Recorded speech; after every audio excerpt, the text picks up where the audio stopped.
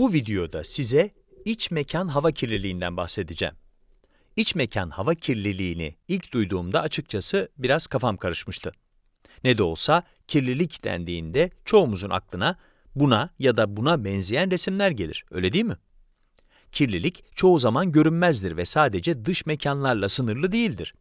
İç mekanlardaki kirlilik de beraberinde çok ciddi sağlık sorunları hatta ölümü bile getirebilir. Ancak iç mekan hava kirliliğini engellemenin veya ortaya çıktığı takdirde belirlemenin bazı yolları mevcut. İsterseniz bir örnekle ilerleyelim. Bu Ayşe. Ayşe de dünyadaki diğer birçok insan gibi zamanının çoğunu kapalı mekanlarda geçiriyor.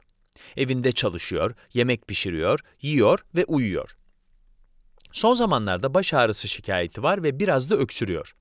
Bunun sebeplerinden biri içinde bulunduğu kapalı mekanın kirliliği olabilir. Peki bu iç mekan hava kirliliği nereden geliyor olabilir? Ayşe'nin evine bir göz atalım mı? Kapalı mekanlardaki havanın kirlenmesine sebep olan hem insan hem de doğal kaynaklı birçok şey olabilir. Ayşe'nin mobilyaları, duvar boyaları ve halıları havaya uçucu organik bileşenler salıyor olabilir. Bu bileşenler arasında oda sıcaklığında formaldehit gibi gazların oluşmasına sebep olabilecek maddeler bulunur. Formaldehit, yapı malzemeleri ve döşemelerde yapıştırıcı olarak kullanılır ve havaya karışabilir. Formaldehit aynı zamanda ölü bedenlerin çürümesini engellemek amacıyla kullanılan bir maddedir ve kesinlikle solunmaması gerekir. Amerika Birleşik Devletleri Çevre Koruma Örgütü, formaldehitin ülkedeki en tehlikeli 4 hava kirleticiden biri olduğunu söylüyor. Formaldehit solunması, baş dönmesi ve kusmaya sebep olur. Uzun süre maruz kalındığında ise ölüme sebep olabilir. İç mekan kirleticilerinin bir kısmı Ayşe'nin evinin kendisinden de geliyor olabilir. Bu kirleticiler partikül formundadır. Partiküller son derece küçük oldukları için havada asılı kalabilen parçacıklardır. Akciğerlerin derinliklerine kadar ulaşabildikleri ve hücrelere zarar verdikleri için de son derece tehlikelidirler. Partiküllere verilebilecek örneklerden biri asbesttir. Asbest, aslına bakarsanız oldukça havalı bir maddedir bir elektrik yalıtkanıdır. Yanmaz ve asitten de etkilenmez. Zamanında inşaatında izolasyon, yer döşemesi ve tavan döşemesi malzemesi olarak asbest kullanılan birçok ev inşa edildi. Asbest, madenciliğin, daha doğrusu madenciliği yapılan doğal bir malzemedir arkadaşlar ve kumaşa eklenebilen hafif ve kabarık lifleri bulunur. Görünüşünü tek boynuzlu atın tüylerine benzetiyorum ben. Tabi tehlikeli bir tek boynuzlu at dersek daha iyi olabilir. Liflerin her biri mikroskobik parçalara bölünür ve akciğerlerde yaralar meydana getirerek akciğer kanseri ve diğer akciğer rahatsızlıklarına davetiye çıkarır. Ayşe'nin evindeki partiküller duvar boyalarından da geliyor olabilir. Duvarları boyamak için kullanılan ve kurşun içeren boya soyulmaya başladığında havada asılı kalacak küçük parçacıkları da dışarıya verir. Bu parçacıklar da baş ağrısı, sinir ve beyin hasarı ile kendini gösteren kurşun zehirlenmesine sebep olur.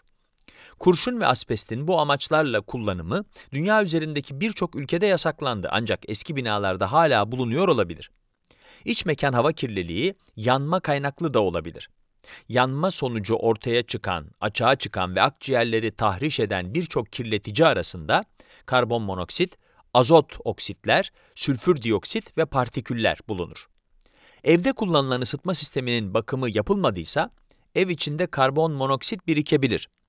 Karbon monoksit molekülleri gizli silahları olan sinsi moleküllerdir. Kanımızdaki proteinleri kandırır ve oksijen olduklarına inandırırlar. Sonuç olarak ölümcül olabilecek bir durum, vücudun oksijensiz kalması yani boğulma durumu ortaya çıkabilir. Ayşe'nin evde kullandığı ısıtma sistemlerinin bakımı düzenli olarak yapılmalıdır. Yanma kaynaklı hava kirliliğine sadece ısıtma sistemleri de neden olmaz.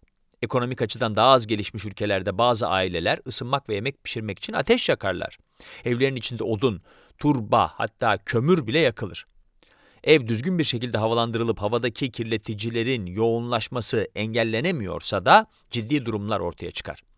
Yanma kaynaklı hava kirliliğine düzgün bir şekilde havalanamayan şömineler ve tütün dumanı da sebep olabilir. Peki Ayşe, yanma kaynaklı hava kirliliğini azaltmak ya da engellemek için ne yapabilir? Pencereleri sık sık açarak evi havalandırabilir. duman ve kirliliğin temiz havayla karışmasını sağlayacak fanlar kullanabilir. Havanın güvenilir olduğundan emin olmak için evine bir karbon monoksit detektörü de yerleştirebilir. Karbon monoksit detektörü ocak ya da kombilerdeki gaz kaçaklarını da tespit edebilir. Bu arada Ayşe'nin evinde doğal kaynaklı kirleticiler de olabilir. Bu kirleticilere örnek olarak da küf, toz hatta radonu verebiliriz. Küf mikroskobik bir mantardır ve havada oradan oraya sürüklenir. Solunması gözlerde kaşıntı, burunda akıntıya sebep olurken astım ataklarını da tetikleyebilir. Küfün nemi çok ama çok sevdiğini de hemen eklemek istiyorum. Evdeki hava nemli olduğunda bu küfler açısından avantajlı bir durum olabilir. Çünkü havadaki küf sporlarının sayısı da daha çok olacaktır. Ancak bu bizim için tabii ki hiç de iyi bir durum değil.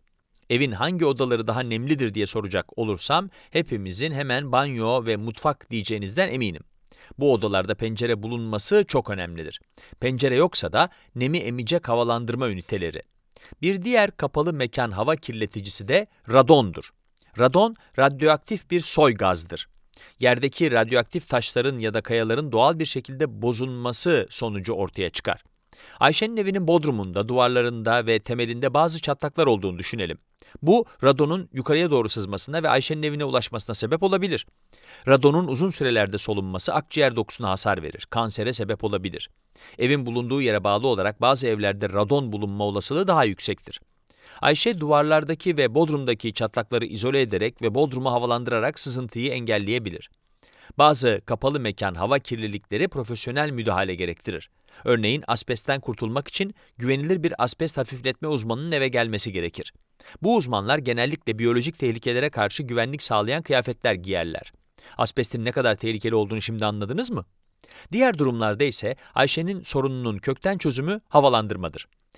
Ayşe evinin karşılıklı duvarlarında bulunan pencereleri aralık bile bıraksa dışarıdan gelen hava içerideki kirli havayı seyreltir ve kirleticileri beraberinde evin dışına taşır. Bu doğal havalandırma, hava sirkülasyonu ile kapalı mekan hava kirleticilerinin birikimini de engeller. Kapalı mekan kirleticilerin Ayşe'nin evine sinsice girmesinin daha bir sürü yolu olabilir. Bunlardan bazıları doğal, bazıları insan, bazıları da yanma kaynaklıdır.